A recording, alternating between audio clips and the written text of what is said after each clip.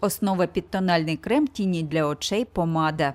Для японця Йосіхіро Каміті макіяж стає дедалі звичнішим. Так він намагається покращити свій вигляд для відеоконференцій. Косметикою в Японії починає користуватися дедалі більше чоловіків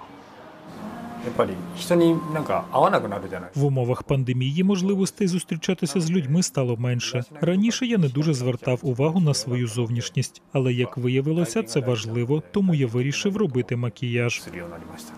В одному косметичному салоні для чоловіків кажуть, що їхні доходи в порівнянні з минулим роком зросли на чверть. Раніше нашими клієнтами були молодики до 30 років. Тепер, оскільки всі почали працювати віддалено, стало більше бізнесменів віком 40, 50 і 60 років. За даними дослідницької компанії Fuji Keizai Group, ринок чоловічої косметики в Японії швидко зростає. Великі бренди зазначають, що в деяких магазинах продажі підвищилися більш ніж 10 разів. Водночас зростає попит на онлайн-фільтри.